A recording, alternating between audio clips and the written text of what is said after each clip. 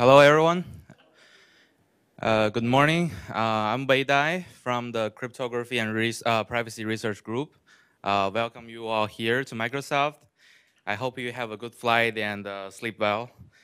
And let's begin our uh, session today. The first one will be Kristin Lauter, our manager, and probably you all know her. she'll start with the opening talk. And uh, the whole day is really packed, so I hope you get uh, breakfast and you know enjoy the whole day. Thank you. Let's start with uh, the first session. So welcome, everyone. Thank you so much for coming. We're really delighted to be hosting this private AI workshop. Um, so I wanted to say, first of all, a big thank you to Wei Dai, who's organized this whole thing. So let's give Wei a round of applause.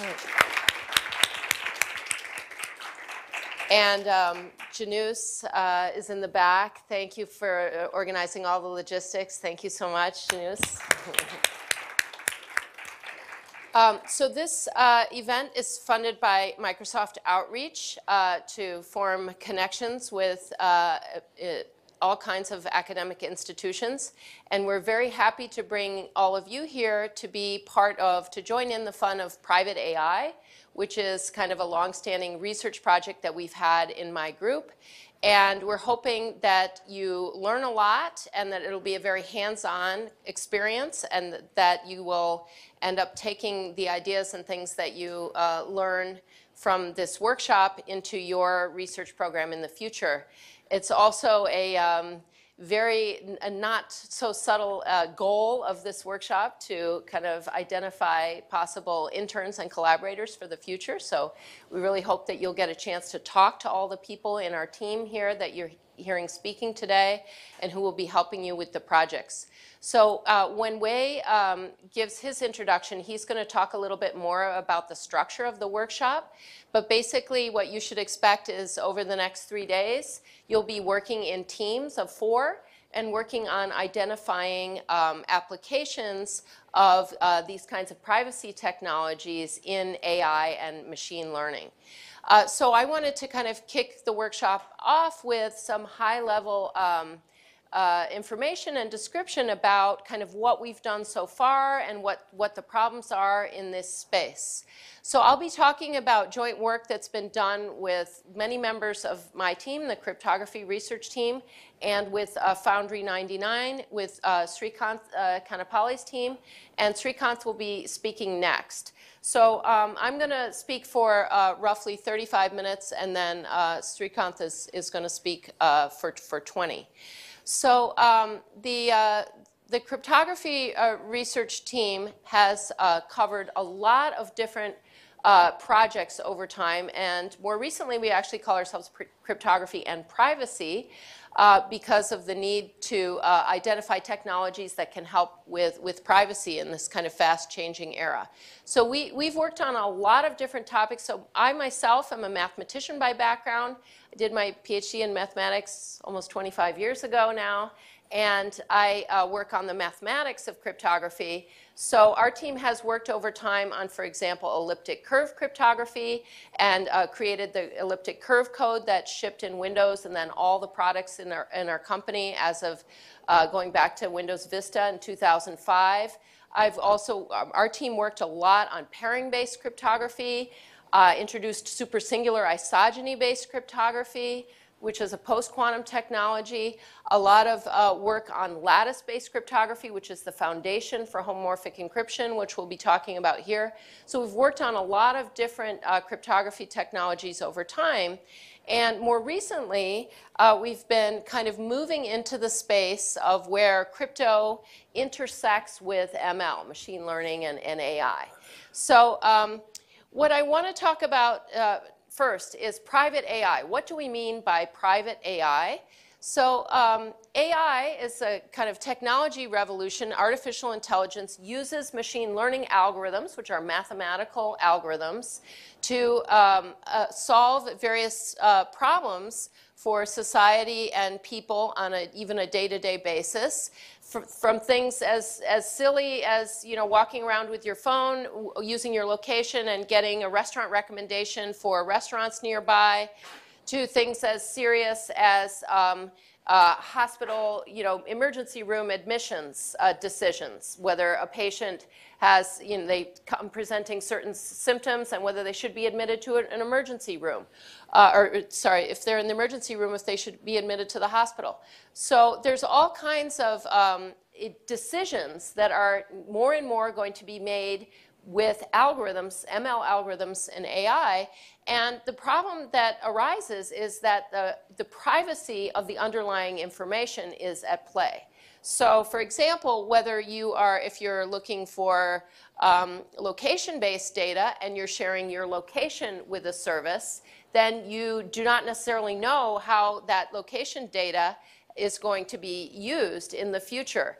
Um, just a few weeks ago, I got a little notification on my phone from an app that I didn't even know was installed, telling me they had collected my location data 13 times in the last hour or something like that. And so that's the kind of thing that we're facing is, is that as cloud services roll out, providing useful services with ML and AI, how can we protect our privacy in that context? So that's one slice of the picture. But when you dig into this, hopefully in your teams, when you'll be thinking about this, there's a lot of different privacy problems uh, at play here. And when uh, I was going to just mention, I don't have a slide about this, but just a few weeks ago, I was invited to the White House to a roundtable on uh, federal data sharing. So federal agencies that want to share data with each other. And well, what's the privacy problem there? Federal, data, uh, federal agencies have maybe collected data, maybe even from video surveillance, surveillance could be um, less sensitive than that, could be, uh, or could be extremely sensitive data such as health data. And this type of uh, data they might want to share each, with each other to make some uh, good decisions or to, to protect the public in some way or another or to help um, advance certain initiatives. But uh, how do you share data between these agencies without uh, compromising the privacy of the, of the people's data that's involved? So there's a lot of different ways you can slice the privacy problem. So I tend to think of um, it in terms of one particular tool that has really changed what we can do in this space. And when, so when we say private AI, we're referring to a collection of privacy technologies, but the foundational one that we're interested in getting you all involved with here in this workshop these few days is homomorphic encryption. So homomorphic encryption is a, a, fairly new mathematical tool where new, new means roughly 10 years old, slightly less than 10 years. It's from a mathematical point of view, you can just think of it as a commutative diagram. Uh, it means that uh, if you take data, let's say pieces of data A and B, and um, you operate on them, you compute on them, either you multiply them together or you add them together, um, the, uh, this computation commutes with uh, the encryption function. So if you, if you first encrypt the data and then compute on it, you'll get the same thing as if you first compute on it and then encrypt it. So anyone, any mathematician will think that this is a very natural explanation because this is just what homomorphic means. It's just encryption, which is homomorphic. The problem is, is that most people in the public don't know what homomorphic is, and they usually even have a hard time even pronouncing it. Um, so I like to give this explanation because not only it says what homomorphic encryption is, that basically encrypt, you can just, in one sentence, you can tell anyone what homomorphic encryption is. It is encryption that commutes with computation. That's, that's what it is. But what does it do for you? Why is it important? So if you um, look at this diagram, what it means is, is that if you have some data and you want to do some data analytics or even some machine learning model applied to that data, some AI, um, you could do that yourself. You can do that locally. So if you have the models and you have the uh, wherewithal to implement some kind of uh, um, package to evaluate these models, you can do that locally. And that's always kind of the base case that you should compare against is that um, you know clients or enterprise customers or consumers can always choose to implement things locally versus outsourcing to the cloud. So this arrow, think of it as outsourcing to the cloud. So imagine if you now, instead of uh, doing your computation locally, you actually take your data and you upload it to the cloud. But you want to preserve the privacy of your data, so you upload it in encrypted form. So you encrypt it first. So now the cloud has your encrypted data. So now what can they do? Well, with homomorphic encryption, they could actually compute on this encrypted data without decrypting it. That's the whole point of outsourced computation and storage using homomorphic encryption is, is that you upload, uh, you encrypt it locally, you upload it to the cloud, you, then you can compute on it, and what you get out is a, some encrypted computation. Now the cloud doesn't, can't do anything with this encrypted computation.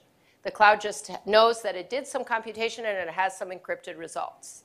And so what, they can, what you can do is have the cloud send back the uh, encrypted data to the encrypted output to the client and they can decrypt it locally. So that's the whole idea of homomorphic encryption. And um, so, like I said, it's about uh, 10 years old. In 2009, the first uh, solution was proposed by Craig Gentry at IBM, but it was considered wildly impractical. And large, largely because of um, well, in the next two years, let's say, between 2009 and 2011, the schemes evolved very quickly, but also the manner for handling data. So in 2011 at Microsoft Research in our team, we had several surprise breakthroughs. One was um, the first homomorphic encryption scheme, which was based on RLWE, which is the ring learning with errors problem. I won't have much time to talk about that here in this talk but I'd be happy to talk with any of you more about the mathematics behind this uh, during the workshop. Um, the second breakthrough was really a different approach to uh, practical encoding of data, which led to about four orders of magnitude speed up in the computations. So um, instead of encrypting bit by bit, which allows you to do um, both error, what's called error growth management and plaintext growth management. Instead of encrypting bit by bit, we encrypt large flo floating point numbers directly into ciphertext, which allows you to do computation um, in a much, much simpler way. It squashes all the circuits so that you don't need really, really deep circuits to evaluate a single multiplication. So that, uh, that's a um, paper called How uh, Can Homomorphic Encryption Be Practical?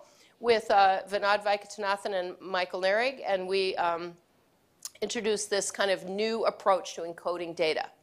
And then the, the, next real breakthrough in this area, when I showed you the two globes at the beginning, crypto and ML together, represented a kind of a turn where we really, in our, in our group, we really started focusing on the intersection between machine learning and cryptography in roughly 2015.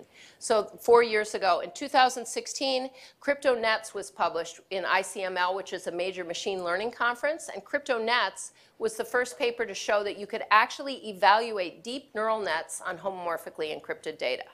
So this is the thing that was really surprising. People in the theoretical community thought that homomorphic encryption was so impractical because you encrypt data bit by bit, you have extremely deep circuits to do even the simplest possible computation, and it made it look like absolutely ridiculous to even do, to do the simplest thing. Whereas CryptoNets showed that um, you could even evaluate deep neural nets on homomorphically encrypted data. So that kind of changed uh, the way people uh, th thought about things. Let me just say a word about the mathematics behind this. Um, the lattice-based cryptography that we use for homomorphic encryption, the key thing to remember if you're not a mathematician and you don't care about the mathematics is, is that it's currently considered post-quantum secure. So that means we do not know um, polynomial time quantum algorithms for breaking this type of encryption, which is a major feature because in the industry we will soon be moving to post-quantum solutions for encryption um, as more and more uh, money and, and, efforts being put into developing quantum computers at scale. And there's currently a five-year post-quantum cryptography computation going on. It's an international uh, com competition um, being hosted by NIST, National Institutes of Standards and Technologies. And lattice-based cryptography is one of the um, solutions that's being proposed for standardization by NIST. So the hard underlying problem of lattice-based cryptography is basically being able to find uh, either the shortest vector in a lattice or an approximate shortest vector. And so currently, the best known attacks on these systems take exponential time, both uh, classically and on a quantum computer. So that's kind of a, feature of these systems. So as I said, I won't have a lot of time to talk about the mathematics, but you can think of a lattice as just being a discrete linear subspace of continuous space. So think of it, this is just two dimensions, but think of it as being um, dots, a linear space of, of dots within Euclidean space that is specified by some set of basis vectors. So this is just two-dimensional picture here. You have two vectors. Think of this uh, point right here as being the origin. And these um, if you think of it in n dimensions, so for homomorphic encryption, typically you should think of n, the dimension of the lattice, being a minimum of 1,000, so uh, uh, roughly 10 bits. We have, uh, in our seal library, we have um, n is always a power of 2. So 1024 is usually the smallest dimensional lattice that you'll ever be working with.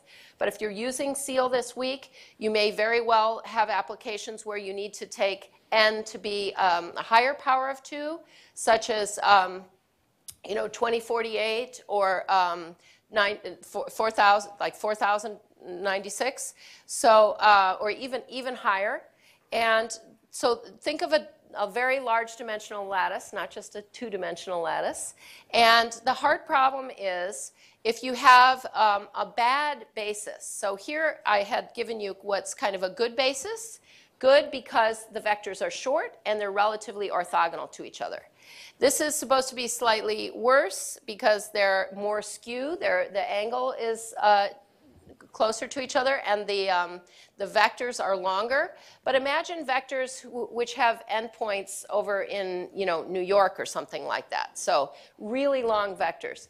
Now in two dimensions, it's easy to take um, a bad basis and turn it into a good basis. You simply do this, what's called Gram-Schmidt orthogonalization. You project one vector onto the other, and then you subtract. So it's a very efficient way to reduce down, back down to a, a good basis, a small basis. But in high dimensions, what happens if you try that same idea pairwise, you'll get what's called the LLL algorithm, essentially, and it works very well. You can also uh, do it in polynomial time, but the approximation you get to the shortest vector is exponentially bad.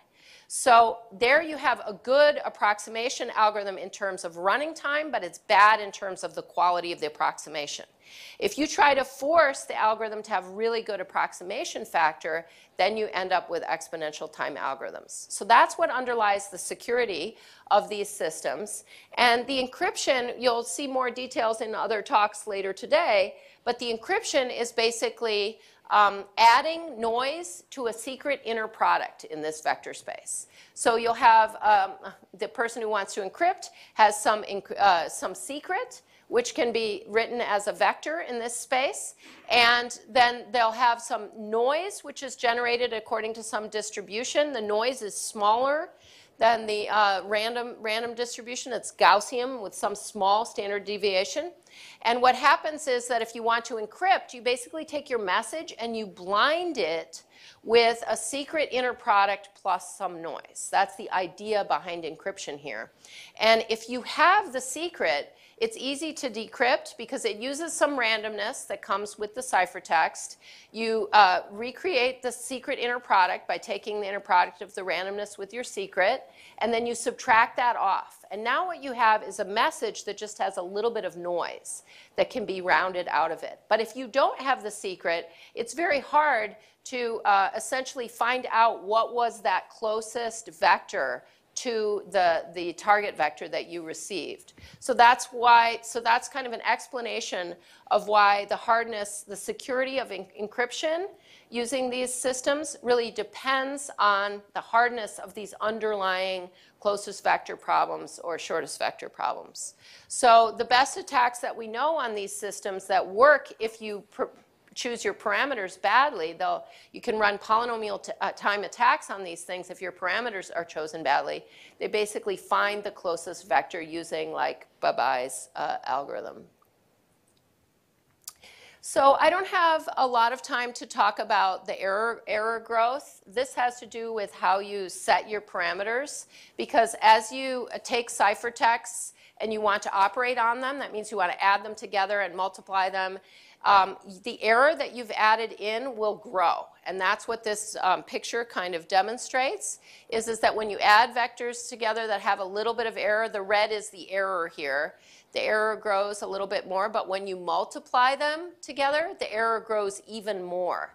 And what happens is, is that when your error growth is too much and you go to kind of decode this vector, you will end up decrypting to the wrong lattice point, as you can see. So that's kind of should give you an intuitive idea of why the error controlling the error growth is one of the key things you have to do for setting parameters and uh, for correctness and, and security. Um, so you don't have to, uh, I, we have a, I just wanted to say one thing about the audience here. So we're so pleased to have you all. There were about 90 applicants and 30 people admitted, so it was quite competitive. But your backgrounds are very, very different, which is why I'm trying to cover a lot of aspects here. You don't necessarily need to work on the mathematics of homomorphic encryption in this workshop because we're going to get, try to get you working with SEAL, with the underlying um, encryption library.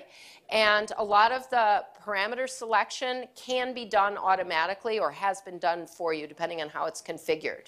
So these questions about error growth, you do not necessarily need to, to think about today. But if, on the other hand, if you're interested in the mathematics behind it, then please come and talk to me and others in our group uh, over the course of the workshop. So I wanted to give you an idea of all of the really kind of exciting applications that my team has worked on over the last eight years and others in the industry and in our, in our um, kind of partners and collaborators. Um, as, as it says here, uh, all of the work that we did, basically from 2011 to 2014, was done in collaboration with machine learning researchers, bioinformatics experts, even finance experts. And that's one of the really exciting things for me about starting to work on this technology is, is that I felt highly motivated. I felt that working on privacy was a, is a social good. So actually, straight out, my main goal professionally in life right now is to get homomorphic encryption widely adopted because I believe in it as a means to protect privacy for society. And I believe that in the future, we could see a future where much or all of uh, private information is actually encrypted at the source and handled in the cloud only in encrypted form. So that's the vision that I'm going for. I'm not giving up until I get there. But there's a lot of work to do because there's um, so much that we want to do with data, and homomorphic encryption does add overhead to the computation. And so there's always going to be this resistance to why should we add a lot of basically cost in terms of time and money to what we want to do in these cloud services by having everything in encrypted form. So um, just very briefly, uh, using this kind of practical homomorphic encryption approach that we introduced in 2011, we're able to um, come up with um, algorithms for doing, I'm going to skip through a lot of this stuff, a lot of genomic computation. So this was one of the first things that we really demonstrated is, is that you could do genomic computation on encrypt, encrypted genomes uh, at scale. And uh, so including statistical computation and predictive analysis. So these kinds of, um, these are typical statistical uh, tests that uh, genomics and bioinformatics researchers would run. This actually led into the IDASH uh, competition. The first homomorphic encryption competition for IDASH um, was uh, the tasks were related to um, analyzing genomes, uh, doing statistical chi-squared test, Hamming distance, and uh, edit distance. Um, and so IDASH, if you look it up, you'll find it's a secure genome analysis competition. Um, it might be interesting for you guys to think about in the context of your projects for this week, uh, what is the IDASH thing. So um, these are kind of old performance numbers, which showed already five years ago extremely um, uh, efficient computation, 0.3 seconds for evaluating a model of whether, predicting whether you're likely to have a heart attack. This was something that was run um, by a major pharmaceutical company on a million records from a Chinese hospital to demonstrate the timing. This was about four years ago. So this should give you an idea that this, this technology was already pretty practical a while back. So now kind of zooming forward to today, what we've been working on uh, very um, hard in our team and in collaboration with Foundry 99, with Srikanth's team, is bringing this uh, technology into um, the co commercial use. And so the first thing that we did was to release a very well-engineered um, homomorphic encryption library called SEAL. So you should all have SEAL now on your laptops. Hopefully you'll be using it throughout the day and throughout the workshop. It was publicly released in 2015 for research use, and then last year, uh, about a year ago, um, November 2018, it was released open source. So it can now be used uh, you know, commercially by any company in the world. And we have been hearing from around the world different companies that are potentially using this um, to uh, protect privacy in various ways. So a few of the things that we've heard about are the release of, for example, PySeal, like a Python wrapper, for Seal, um, Dropout Labs has created encrypted TensorFlow built on Seal. Lots and lots of other announcements that we see um, month to month of how Seal is now being used and incorporated. So it should give you an idea that we're really at the point that this technology should be usable. The library is built to be used by general developers, and our team has worked very hard to create materials, tutorials even, for developers who want to build applications on top of Seal. And so that's also what we're trying to encourage you, all of you to think about uh, doing. Um, we've also been involved in a, a major standardization effort worldwide, uh, which I won't say much more about. But if you're interested, please come to our standardization workshops. Um, the, uh, I guess it'll be the fifth one will be coming up in the spring. Um, this is the third one from Toronto. Um, so, and then this is just a graph I like to show that explains kind of the progress of homomorphic encryption over time. So many people, including theoretical cryptographers, still think that homomorphic encryption is in this range where it was about 10 years ago. This literally uh, represents 13 orders of magnitude overhead. That's like a computation that would have taken you one second on unencrypted data takes you 10 to the 13 seconds on encrypted data. So that's why people think homomorphic encryption is so impractical. And with our practical encoding techniques, uh, we're really able to bring this down, like I said, roughly four orders of magnitude initially in uh, the initial paper in 2011 with our practical encoding techniques, and now all kinds of, of uh, implementation, algorithmic and scheme improvements, and uh, new ways of doing approximate computation, which you'll hear about from Yongsoo today, um, have brought us down to the point where we're roughly four orders of magnitude, three to four orders of magnitude. So that means something that takes you a second would take you in the matter of thousand, thousands of seconds. But if it took you microseconds, now it takes you milliseconds. And so there's a lot of computation you can do that falls in that category. So these are some kind of raw performance numbers, but since I'm a little bit short on time, I will kind of skip over this. We can, I'd be happy to answer questions uh, on the performance numbers, but here, for example, is a typical lattice dimension you might use, like 4,000 or 8,000. And here you can see that amortized uh, uh, multiplication of ciphertext is eh, like a quarter of a microsecond. So you're really fairly practical with this technology today using SEAL. Um, so what we've done over time is to focus on all different types of applications beyond genomics um, in health, in finance, and, and other areas, and even manufacturing. And um, one, the main um, uh, kind of scenario that we've thought about is private storage and computation. Um, some uh, examples of kind of data sharing as well, where multiple parties want to interact on the data. Um, and the private storage and computation has been largely focused on prediction services and uh, private training and things like private set intersection.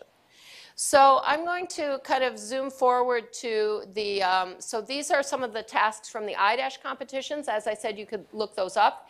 If you're interested in applications in uh, genomic computation, secure genome analysis. Um, uh, these are all the libraries that we know of worldwide for homomorphic encryption that are publicly available. You can find this on the homomorphic encryption standardization webpage. Um, uh, we have, the, these are like all the different papers that have built on crypto CryptoNets recently. We're probably missing the most recent ones since this slide is like from August. So this, this area is moving fast. Um, teams working on improving, uh, being able to do uh, machine learning on encrypted data of different kinds. Um, and so just to give you an idea of the range of applications that we've worked on in our team and show you the demos, because you're going to be looking at coming up with your own applications in your team.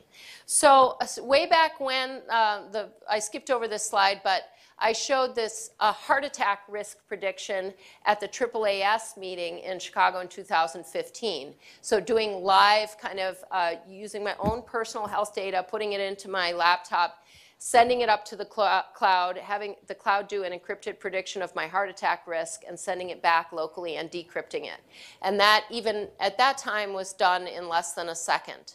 So CryptoNets I told you about was a demo that I used to show. It showed being able to do handwriting recognition on encrypted data. So uh, a handwritten image is uh, expressed in terms of its pic pixels, and all the pixels are encrypted.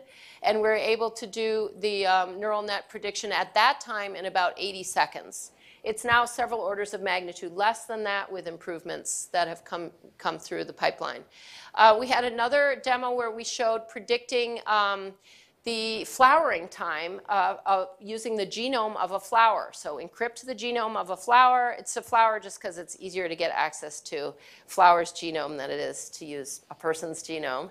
And showing uh, flowering time prediction from 200,000 SNPs of a, of a flower. Uh, and then pneumonia mortality risk was uh, very interesting because it was um, using intelligible models, which are easy to understand what the model was doing. It's not as opaque as like deep learning models, where you don't really know what the model was doing inside, so it's hard to tell whether what it, it, the answer it gave you was reasonable. So more recently, with Srikant's team, uh, we had a demo showing Twitter sentiment analysis. Also, image classification, cat, uh, classifying images as cats and dogs. And so all of these are kind of examples of outsourced computation, where the data was encrypted, sent up to the cloud, the computation was done, and the result was sent back.